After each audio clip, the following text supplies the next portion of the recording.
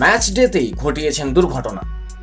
বাংলাদেশ বনাম আফগানিস্তান ম্যাচের প্রথম দিনে ম্যাচের আগেই একাদশ জানিয়ে দেওয়া হয়েছিল, যেখানে ছিলেন না জাতীয় দলে চান্স পাওয়া শাহাদাত হোসেন দীপু কিন্তু ম্যাচ ডেতেই ঘটিয়েছেন দুর্ঘটনা।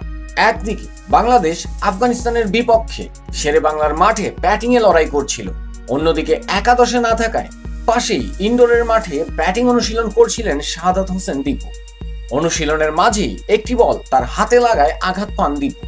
সাথে সাথেই হাত ধরে মাটিতে বসে পড়েন। হাতে তীব্র ব্যথা অনুভব করায়। বেশ কিছুক্ষণ তাকে বসে থাকতে দেখা যায়। এরপর একটি আইস ব্যাগ হাতে লাগিয়ে আরও কিছুক্ষণ অপেক্ষা করেন। তবে হাতের ব্যথা হয়তো কম ছিল না তার।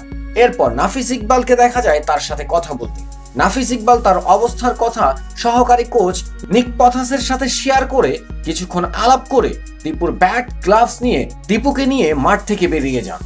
এ সময় দীপুর হাতে আইস ব্যাগ ধরে হেঁটে যেতে দেখা যায়। মাঠ থেকে বেরিয়ে যাওয়ার সময় দীপু বারবার নিজের হাতের দিকে তাকাচ্ছিলেন। তবে ইঞ্জুরিটা কতটা প্রখর সে বিষয়ে কোনো বিস্তারিত জানা যায়নি।